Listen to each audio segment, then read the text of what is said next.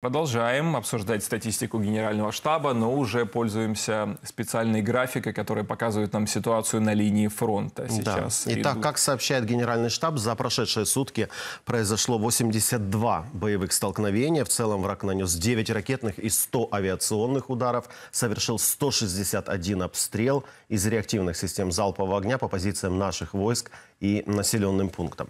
В зоне ответственности оперативно-стратегической группы войск Хортица на Купинском направлении враг наступательных действий не вел. Теперь переходим к картам.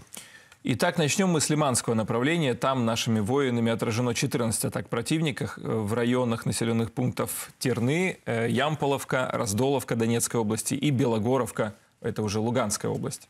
На Бахмутском направлении силами обороны отражено 8 атак противника в районах населенных пунктов Богдановка, Ивановская и Андреевка Донецкой области. Авдеевское направление далее рассмотрим. Нашими защитниками там отражено 24 атаки в районах населенных пунктов Бердичи, Орловка, Тоненькая, Первомайская и Невельская.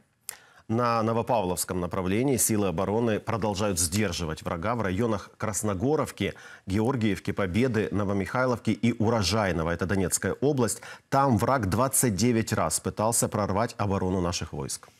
Э, на Ореховском направлении более-менее спокойно. Штурмовых действий, по крайней мере, там оккупант не вел.